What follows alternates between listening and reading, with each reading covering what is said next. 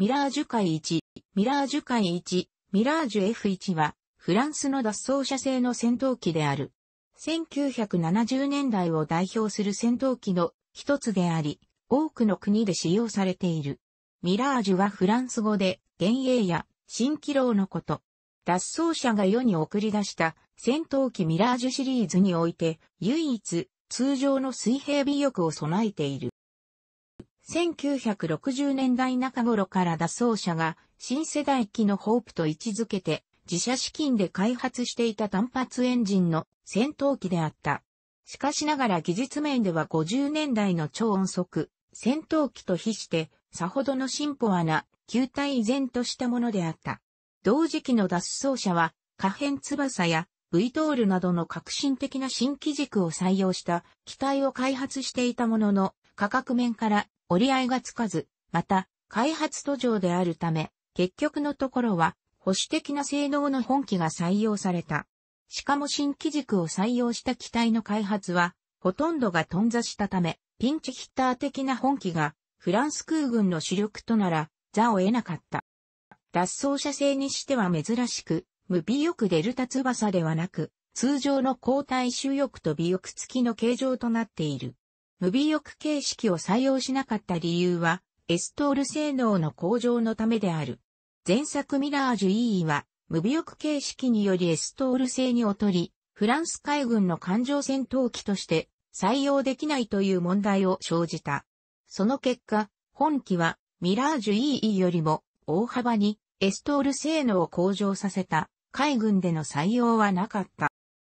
武装は 30mm 機関砲2門を固定武装とし、空対空ミサイル4発を搭載可能。この他に通常爆弾、または空対艦ミサイルを搭載できる。なお、配備当初は空対空ミサイルが搭載できず、1976年までは武装は機銃のみであった。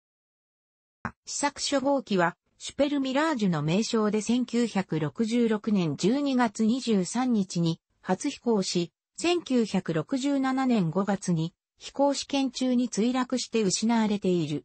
1973年よりミラージュ海 1C としてフランス空軍への配備が開始され、12月には最初の飛行隊が編成された。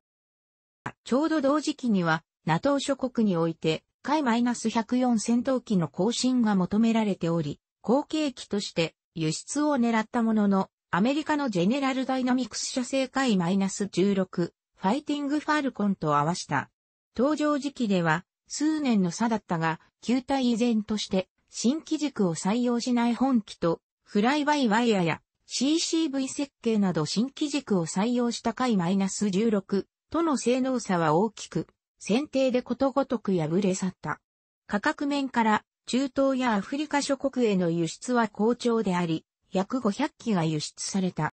その後、脱走者は本機において採用されなかった新機軸を積極的に取り入れた新型機としてミラージュ2000を開発した。再び無尾翼デルタ翼形式を採用し、当時の最新技術によって設計のリファインがなされたほか、新型の M53 エンジン A、B 水力 8500kg を搭載してパワーを強化した。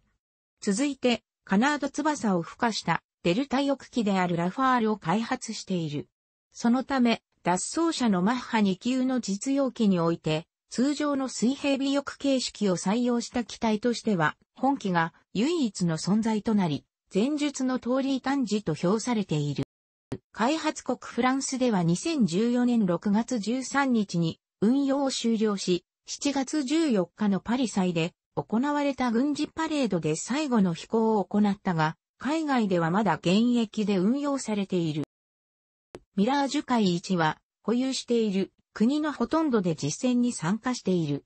南アフリカ空軍機は、ブッシュ戦争において1機が、キューバのパイロットの操縦するミグ -23 により撃墜され、後日、修復、またミグ -21 と交戦し、少なくとも1機を撃墜している。これとは、別個にアンゴラは、ミグ -23 による数機の撃墜を主張しているが、ほとんどの場合は損傷したものの帰還しており、損失の多くは離着陸の失敗及び機体トラブルであった。当時、単射程の R550 マジック及び南アフリカ製のククリソラー対空ミサイルしか装備しておらず、主力であった R530 系ミサイルが供給されていなかったため、稼働率は低いとはいえ、中射程の R-23、R-24 を装備したミグ -23 に対抗することは困難であった。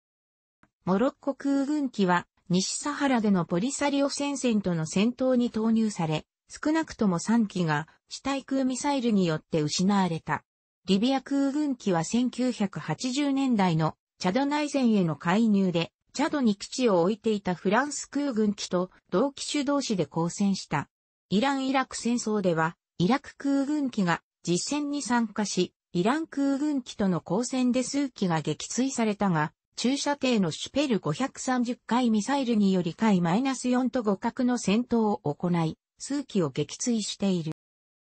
1990年のイラクによるクウェート侵攻の際はクウェート空軍機15機がサウジアラビアに逃れ、その際イラク軍のヘリコプター1機を撃墜した。続く湾岸戦争ではイラク空軍機の多くが地上で破壊され、空中でも多国籍軍の機体、主に海 -15 に対して、早期警戒管制機の支援を受けての指定外、戦闘能力に大差があったこともあり、一方的な害を被った。一部はイランへ逃げ込み、イラン空軍に接収されている。多国籍軍側のミラージュ海1、フランス、クウェート、カタール空軍所属機は、敵味方の識別に失敗して友軍が撃墜してしまう可能性があったため飛行が一時的に中止され、再開されてからは局地的防空や対地攻撃、偵察を行った。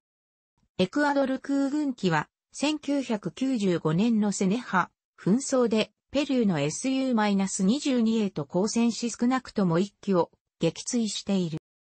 2003年のイラク戦争ではイラク空軍機1機がアメリカ空軍の F-15 に撃墜されている。2011年リビア内戦では、リビア空軍機2機が反政府デモ隊への爆撃を拒否し、マルタへ亡命した。楽しくご覧になりましたら、購読と良いです。クリックしてください。